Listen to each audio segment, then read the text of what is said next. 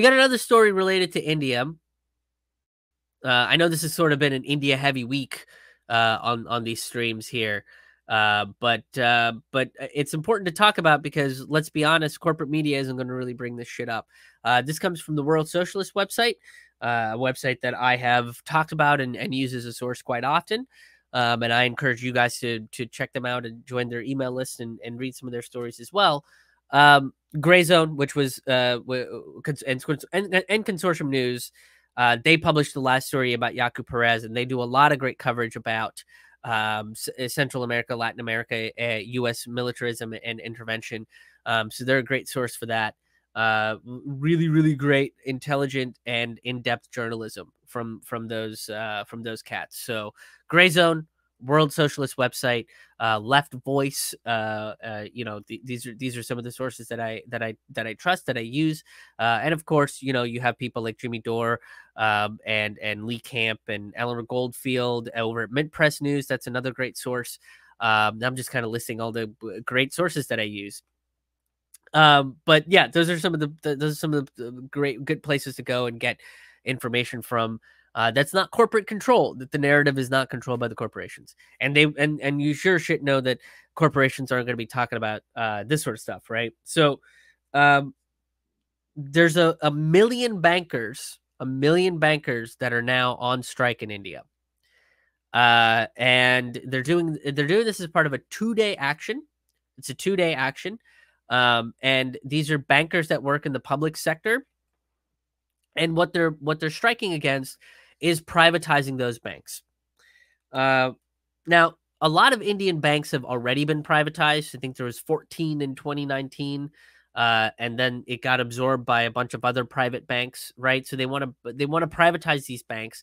And what the bankers are concerned about, what the what the people that work in the banks are concerned about, are um, you know, the the fact that when when things go private, it's the workers that lose out a lot. So they're concerned that once this bank gets privatized, they're going to cut pay, they're going to cut jobs, and then they're going to make people work longer hours, more more grueling tasks, take on more responsibilities for less pay. Um, and it's basically going to fuck them over in the end. So they don't want that, eh, you know. And and this isn't them coming out and being like, "Oh, we don't want more responsibilities, more work." Blah. No, it's let's do the right amount of work. Let's treat the workers fairly and uh, let's make sure that they're being paid the right amount for for the work that they're doing right? And in, in a lot of situations when things go private this is the same thing that the farmers are saying. When privatization comes into play it's the workers that lose in the end. They don't make a lot more money. They they are not well taken care of. They lose their health insurance. They lose you know and, and india doesn't particularly have health insurance but they lose their livelihoods. They're not able to afford their apartments. They're not able to afford any sort of leisure things um, which again is important. It's important to have some leisure in your life, and it's important to uh, have a, a, system in a society that encourages um, leisure in your life, right? Work hard, play hard kind of mentality. But nobody's playing hard because everybody constantly has to be working, uh, and it's not even working hard; it's just working. Period. Right? That's that's sort of what uh, American capitalism uh, pushes you to do, and and now India is kind of taking that um, uh, taking those lessons from American capitalism and and and clearly uh, trying to implement them in India. So a couple of you know again the World Socialist website interviewed some of the bankers on the ground. Uh, and they basically a lot of them are saying very similar things. What are they saying? Well, common people will be affected the most. When the banks go private, you know, um, common people are taken advantage of the most, right? Uh, interest rates might go up. Uh, savings interest rates might go down. They might not be able to uh, get a loan uh, as easily because of various different corporate rules that they have, right? Um, if they want to get a credit card, it's got a higher APR um, or uh, they they might have fees attached to what they're doing. My bank tried to do that a couple years ago, where they were like, "Oh, if you have less than X amount of dollars, we're going to charge you a fee." Um, and then it's going to become a daily fee based on you know how little income you have so it's like okay so you are penalizing me for being poor and i called the bank and i kind of yelled at the lady to be like you understand how this sounds insane right and like how you're penalizing people uh, for being poor, and she was like, "Well, it's just corporate policy. We're just trying to, you know, do um, do better." Um, and da da da da, and it was just like a bunch of fucking corporate jargon thrown at me. And when I finally like got a hold of somebody higher up, they were like, "Well." if you connect your bank to your mom's account and make it a subsidiary and do all this stuff and jump through these hoops, then we won't charge you fees for for being poor, right? So that's how I got grandfathered in. But it's like people don't need to go through that sort of stuff. And India being a developing country where a lot of people are either unbanked or underbanked, having a a private corporate bank come in and take over a bunch of publicly owned banks uh, just means that more people are going to be punished for being poor. And India already has a problem with income inequality, just like America does, and and poverty, right? And, and in some cases, it's worse than uh, than America. And now privatizing these banks is only going to make things uh, far worse. And again, you know, I, I talked about this a couple weeks ago where like I have to make car payments and I've lost a good 80% of my income you know, and I'm and I'm trying to get a, a lot of that back by taking part-time jobs and and and doing virtual shows and hoping for donations and sustaining members but you know they the, the the bank that has my car loan doesn't give a shit they just want their money.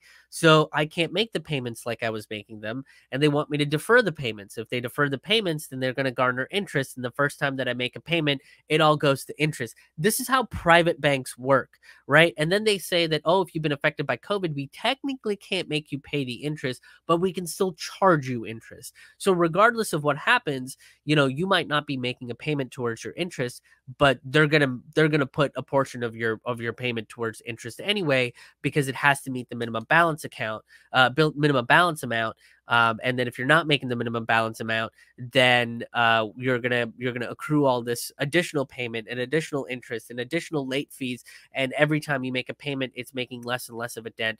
So they trap you. You have to pay something because if you un if you don't pay, then you know they can repossess your car, and I need my car for work. So it's just this trap. And again, it's one of those things where it's like a private bank like this doesn't give a shit about what you're going through. They just want their money. And in India, where people already have financial hardships, this is what's going to happen there now and it's going to happen there more frequently. It's going to create more of a, uh, uh a, a, a, a poverty problem, and it's going to create a debt economy because that's what America runs on. That's why the banks got bailed out. They got $6 trillion, and you still have to make your payments. They didn't cancel the debts. They didn't take that and they go, well, we're going to distribute this amongst all of our, our, uh, our customers. They didn't do that. And they did that on purpose because they don't give a fuck about you. They don't give a fuck that you've been affected by COVID and lost the majority of your of your pay. And in India, that's going to continue to happen now. That's going to start happening now. It's going to make the problem worse. That's why these bankers are going on strike. What I just described. Again, uh, another person says common people's savings will be plundered. And that's similar. A lot of people lost their savings when Modi decided to um, remove the 500 and 1000 note out of circulation. Uh, and it, oh, it'll strengthen the American rupee and it'll stop, uh, you know, the criminal underground from uh, attacking, you know, uh, our, our economy and so on and so forth. Well, it didn't do any of that, right? Because what ended up happening was uh, the the criminals that are laundering the money through a lot of the privatized banks in India continued to launder their banks. They just took a bunch of their cash. They just took a bunch of the 500 and 1000 rupee notes and they and they just deposited them into their accounts to get laundered even faster. But the people that lost out eh, in an 80% cash economy like India is, the people that lost out are the middle class, are the poor people, are the people living in rural communities that can't get to a bank, that are underbanked, that are completely unbanked. And a solution for that was, oh, well, maybe I'll just, uh, you know, give everybody a free bank account in India.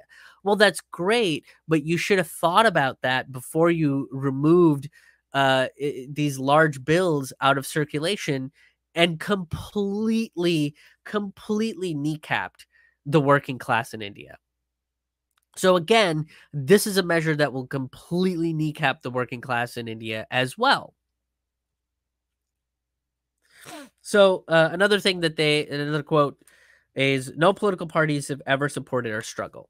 So they're basically calling out to say, well, the BJP doesn't stand by the people of India, and the Congress Party doesn't stand by the people of India, right? Uh, what the Congress Party does is worse than the BJP. At least the BJP comes out and says, "Hey, we're going to privatize the the the banks, uh, and you know it'll probably be, be good for you." Like they they try to convince you that it's good for you. Well, the Congress Party goes a different route to propagandize to people um, uh, to support neoliberal economic policies they use uh the there, there's two different communist parties in India, right? There's a traditional communist party and a more Marxist communist party. Well, those parties are neither Marxist nor are they communist other than name alone, right? They call themselves that, but in reality, they're social democrats. And social democrats historically have had a pattern of siding with capitalists. They support capitalists. That's what they do. They support the capitalists and um you know they're for american capitalism that or not just american capitalism for any any sort of thing that can help uh, capitalists make more money. So the congress party is now using these these fake communists and fake marxists that are really social democrats uh, who are supporting the congress party and saying no no no come join us and vote for the congress party because they're going to help you guys. And in reality they're not helping anybody they're just going to push more neoliberal economic policies um, and then and then tell you and then tell you like oh if you oppose us then you don't really care about democracy so on and so forth. Again very parallel to the way things run in america. Now the bankers have come out and said if the government is unwilling to listen to us and and stop privatizing these public banks um, that are here to help people then they're going to do what the farmers did. They're going to join the farmers in fighting back against capitalist neoliberal economic policies that crush worker rights. Uh, and they're going to push back against the government even further. They're going to they're going to uh, continue to um, uh, do exactly what they're what the farmers are doing and continue to be on strike. And look, this this has affected people financially right? It has affected people financially. People are not able to deposit stuff. They're not able to take out cash when they need to. You know, there, uh, there's there's no ATM services. So now this is affecting all of the other working class people who now if they want to continue earning an income the way that they've been earning an income have to stand in solidarity with the bankers because the bankers are essentially fighting on their behalf.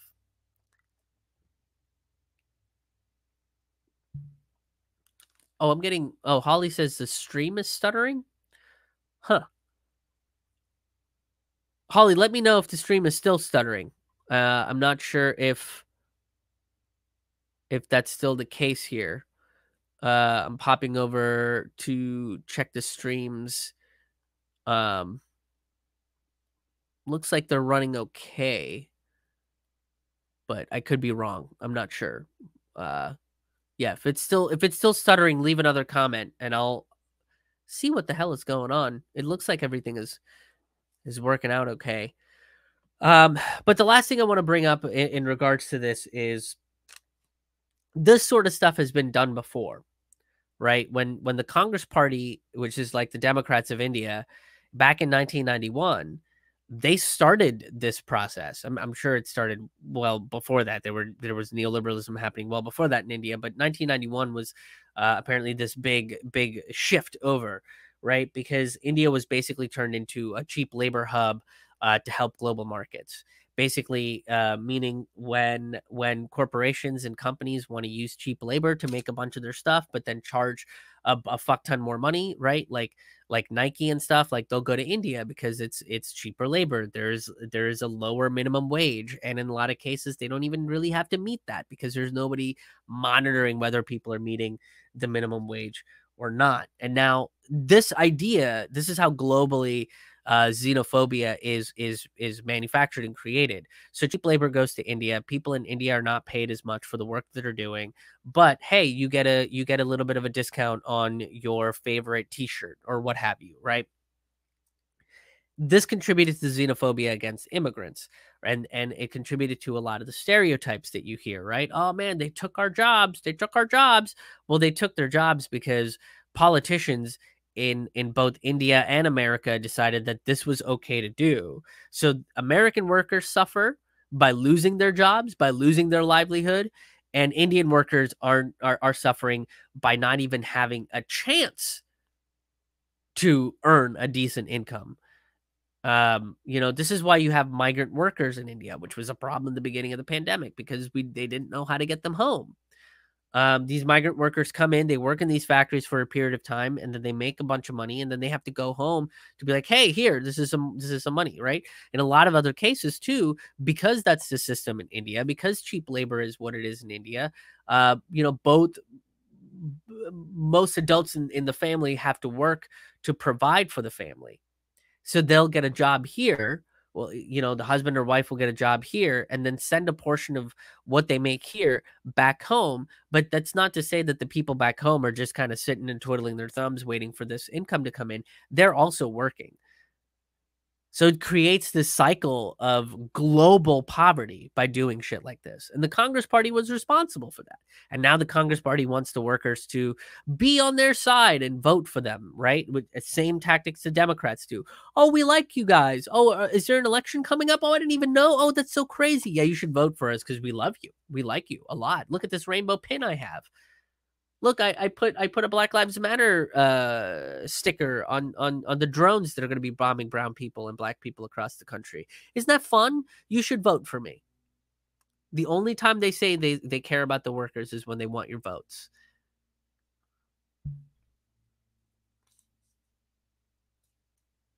And now, you know, you have the BJP pushing exactly what the Congress Party was pushing for uh, back in the 90s and the Congress Party wants to go back to that, and and they're using these fake Marxists and fake communists as a way to do that. So keep an so this is something else you you should keep an eye on, um, you know these these organizations because some of them might come out like you know if if there is a a socialist Marxist or communist organization that's like yay Democratic Party that should be suspect because a true socialist and communist would look at the duopoly and call it out for what it is and wouldn't side with a corporate party that is effectively um, uh, looking to start wars, looking to stifle the working class, uh, and and provided less relief than the than the the authoritarian Republican did, which is what the COVID bill was. I went a little little all over the place there. Um, but I'm going to look at your comments. Uh, aren't there cooperative banks in India? A woman's bank? I'm not sure. I do know that there's a lot of banks that are controlled by the public sector. I'm not sure if they are public banks, but it seems like they were a lot better and helped more people um, than some of the private banks do. Because a lot of the private banks, as I mentioned, don't really give a shit whether you're going through a personal strife. They just want to get their fucking money and and move on to the next thing. Um, so I'm not sure. I would I would have to dig into the banking system a little bit closer in India, but from what I'm seeing in this article, uh, it seems like a lot of these bankers are um, are part of the public sector. Uh, it's outsourcing. Yeah, that's they they basically there there was it's it's a global joint effort for outsourcing. It's a global joint effort to uh, you know, fuck over the workers in in two different countries now. Uh, and and Holly confirms, yep, we got more money from Trump. Uh, and you got to figure too. And I talked to Niko about this, Niko House, uh, where you know that that interview is going to be coming out in the, in the next few weeks here. But uh, I talked to him, and he and I was like, it's it's a little over half, 1.9 trillion versus three trillion, which is what Trump approved. So Biden approved a little over a half. Again, uh, no Republican voted for 1.9 trillion dollars.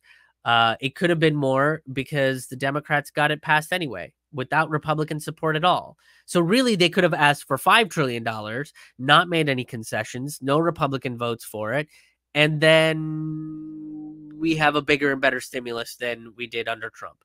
But they didn't do that. They also cut uh, more people from getting the stimulus. So not only are there people like me that fall through the cracks, but even more people that make a little too much money that are no longer gonna uh, uh no, no longer eligible to get the stimulus. So really, um, it's it's even less than half of what Trump did. So it's it's an even worse stimulus, even worse relief than what Trump proposed, what was given to us under the Trump administration. So again, you know, if there are organizations that call themselves socialists or Marxists or communists or so on and so forth that come out and they start championing the Biden administration for doing this, th- that's a false flag. And that should immediately be like red alert. Fucking don't trust these people because they seem like they are um, toeing the toeing the line for the establishment, and you can't trust.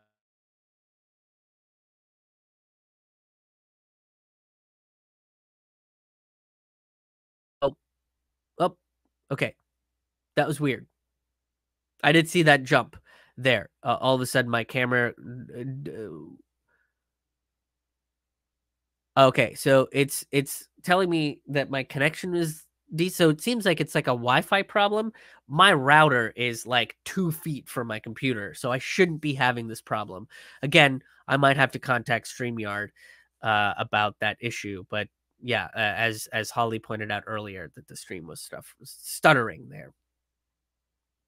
Uh, Sarah over on Rokfin says this is what corporations called emerging markets. Exactly. Yeah. Uh, India is an emerging market. They're a developing country. So there's new opportunities for them to go in um, and and really really fuck the working class over right like really they're they're like we tried this stuff on the americans we tried this stuff in, in our country here's here's how we fucking uh, you know, uh, didn't succeed, but here's how we can succeed in India. Here's how what we can do. Let's use, you know, th- these tactics. So that's what they're doing, and and uh, clearly it's happening in the banking uh, industry. It's also happening in the agribusiness industry as well. Uh, and Uh, Sarah says Biden is a Republican. Sometimes we needs reminding. Agreed. Um, I tweeted this out the the day that uh, you know uh, they they said that he got elected officially, and I said, "Boy, this is a big day uh, for the Republican Party because finally they have a true Republican president." Uh, and that was Joe Biden. Joe Biden is a hundred percent a Republican president. He's voted more like a Republican than a Democrat. Um, and when Clinton wanted to do, oh well, Democrats need to become tough on crime so that we can seem like we're we're really you know sticking it to the sticking it to those criminals and keeping America safe, just like the Republicans say. And now the Republicans can't say that we're not tough enough on crime. Joe Biden was the one that that pushed for that even more. That uh, basically wrote a bill that made America tough on crime to the point where it increased fucking um, mass incarceration. So, uh, you know, and again, he sides with segregationists. He's pro war on drugs. And who was really pro war on drugs? Nixon and Reagan, two of the biggest Republican presidents that have caused economic catastrophes in this country, that have caused mass incarcerations, that have uh, uh put out this racist war on drugs on people. So, again, Joe Biden sided with them, further proving that he's really just a Republican and further proving that any liberal that that that champions someone like Joe Biden that makes excuses for Joe Biden is really making uh, an excuse for republicanism. They're really coming out and saying, "Well, I'm okay with republicanism. I'm okay with conservatism. I'm okay with this sort of economic um uh, hardship that they put on the working class. I'm okay with it as long as it's got a nice face attached to it, as long as it's got a friendly little face attached to it. When Joe Biden ain't your fucking friend. Unity, yeah, exactly, Sarah. That that's what they call for. They call for party unity, uh, which is bullshit because that's not what that's not what's happening. Uh, Holly says the stream seems okay now. Okay, so that might have just been a weird little glitch, but I will talk to Streamyard about that. Uh, thank you for letting me know. I appreciate that. That's why these chats are so helpful. Thank you so much for checking out this video. If you enjoyed this content, uh, please make sure that you hit the like button hit the share button, and make sure you're subscribed to my channel, whether it's on Rokfin, YouTube, or Facebook. Especially Facebook and YouTube, they often uncensor people, uh, un unsubscribe people, and they censor this content. So if you want to keep up to date, make sure you're subscribed. Hit that bell button so you get notifications of when I'm putting up new videos and when I am going live. I usually go live uh, on uh, Fridays and on Mondays. Uh, and if you want more information about a, a, bunch of the other stuff that I do, um, whether it's my Fork Full of Noodles podcast, the Taboo Table Talk interview podcast, or the Road Reflections live streams, uh, make sure you go to my website, krishmohanhaha.com. It's K R I S H M O H A N H A H A dot com. There you'll find past episodes of uh, of various shows that I that I do, as well as information about when I'll be performing live virtual comedy shows, the Fork Full of Noodles live virtual comedy shows. Uh, the dates and tickets will be available directly on my website. But if you're also on financial stable ground, you can help contribute to the show financially by making a one time donation or becoming a sustaining member, which gets you free tickets and bonus content. Can go to krishmohanhaha.com slash donate to to make any kind of financial contributions. But if you can't, it's not a necessity. Most of my stuff is available for free and for everybody to enjoy. So again, go to krishmohanhaha.com. It's K R I S H M O H A N H A H A, and I hope to see you at the next video.